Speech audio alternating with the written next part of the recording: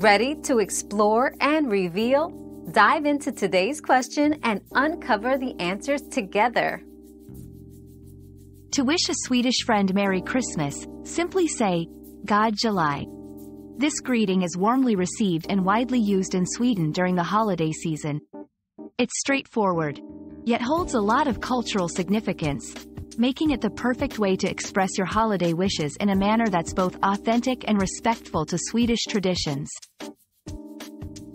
We've quenched today's curiosity, but there's always more to learn. Keep the curiosity alive by subscribing and joining us for our next adventure.